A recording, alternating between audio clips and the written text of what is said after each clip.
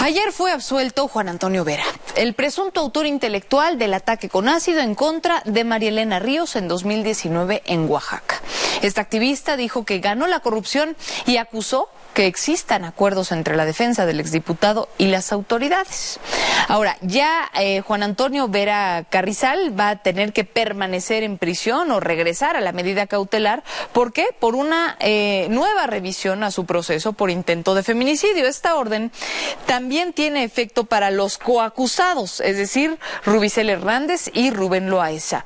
Además, la presidenta del Tribunal Superior de Justicia, Berenice Ramírez, ordenó suspender al juez que había otorgado en primera instancia la libertad a los imputados para que sea sometido a un juicio de responsabilidad por haber tomado esa determinación.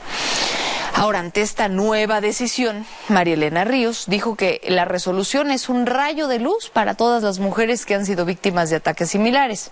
Así lo dijo.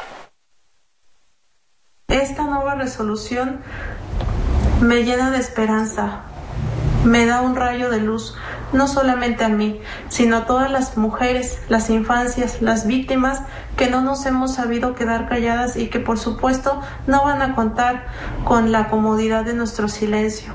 Ahora sí vamos a sentenciar a Juan Antonio Vera Carrizal porque no se trata de una prueba o dos que no pude acreditar, son más de 20 que acreditamos y que José Gabriel Ramírez Montaño las desestimó.